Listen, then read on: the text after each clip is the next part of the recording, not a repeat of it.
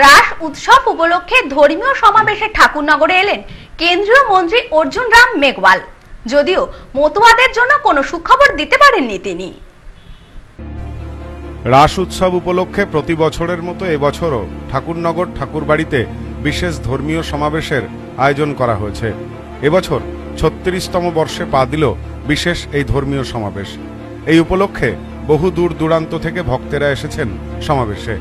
সোমবার এই উৎসবে আসেন কেন্দ্রীয় সাংস্কৃতিক এবং সংসদীয় মন্ত্রণালয়ের দপ্তরের মন্ত্রী অর্জুন রাম মেঘওয়াল ছিলেন কেন্দ্রীয় জাহাজ প্রতিমন্ত্রী শান্তনু ঠাকুর এদিন মন্ত্রী অর্জুন রাম বলেন সিএএ পাশ হয়ে গিয়েছে এ রাজ্যেও চালু হবে তবে কিছুটা সমস্যা থাকায় এখনই চালু হচ্ছে না শীঘ্রই চালু হবে मेला से संबंधित कार्यक्रम है पूर्णिमा है मतवा भक्त सारे आए हुए हैं और हमारे मंत्री परिषद के मेरे साथी माननीय शांतनु ठाकुर जी ने मुझे यहाँ आमंत्रित किया, मैं राजस्थान से आता हूँ।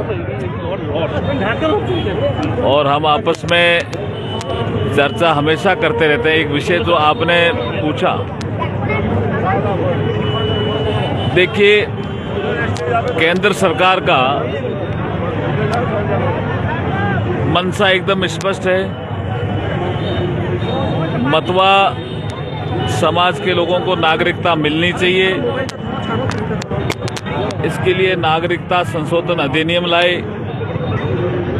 उसमें कुछ जो रूल्स को फ्रेम बनाने से, रूल्स फ्रेम करने से संबंधित कुछ टेक्निकल अड़चने हैं, वो दूर की जा रही है।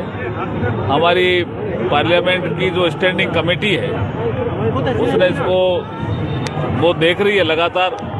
तो आप निश्चित मानिए कि नागरिकता देना निश्चित रूप से नागरिकता दी जाएगी थोड़ा समय लग सकता है टेक्निकल कारणों से लेकिन मनसा एकदम साफ स- नहीं संसद ने तो इसको पास ही कर दिया ना लेकिन चर्चा आती रहती है संसद में भी लोग उठाते हैं तो सरकार की तरफ से जवाब भी आता है लेकिन मैं फिर कह रहा हूँ मनसा भारत सरकार की एकदम साफ है स्पष्ट है জাহাজ প্রতিমন্ত্রীও এদিন জানান এ রাজ্যে সিএএ চালু শুধুমাত্র সময়ের অপেক্ষা।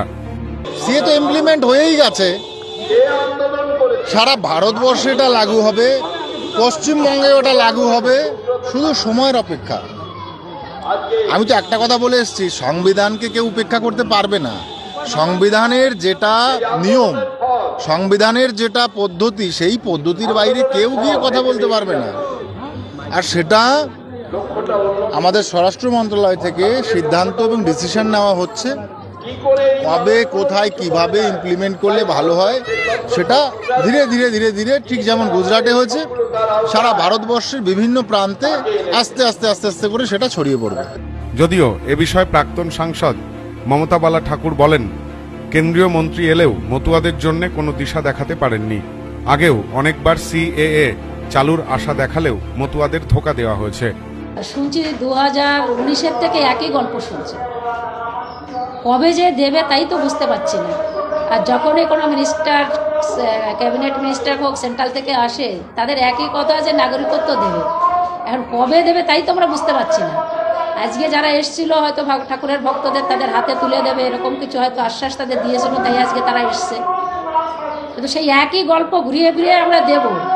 কিন্তু সেটা কবে দেবে সেটাও তো কিছু বলছে না এবং এই দিতে গেলে কি কি মানে ডকুমেন্টস দিতে হবে? কি কি তার লাগবে তার সেটাও তো খুলে বলছেন। সোম দাসের report news no man's land Thakurnagar. Nice education. কমলপৈত্য প্রতিষ্ঠিত নাইস এডুকেশন প্রাইমারি ও এসএসসি টেটের শেষ কথা।